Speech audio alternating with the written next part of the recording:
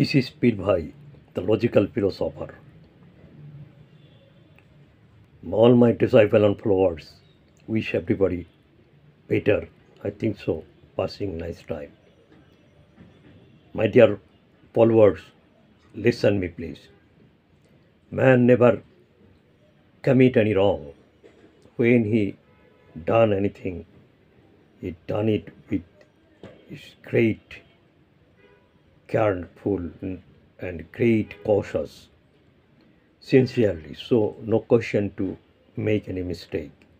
Man to add is human is not right. What man commit to do it is right.